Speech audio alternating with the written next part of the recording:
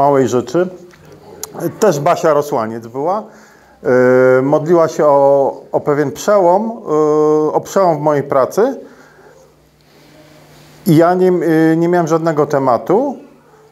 Dostałem w poniedziałek o 11 taki mały temat. To jest tam ogrzewanie dwóch rurociągów, niewielki, ale po prostu chcę to powiedzieć dlatego, że tak jak jest napisane, że kiedy Elizeusz yy, się modlił, to była najpierw mała chmurka. Ja wierzę, że to jest taka mała chmurka, która, która jest tym przełomem, że po tym będzie deszcz wielki. Amen.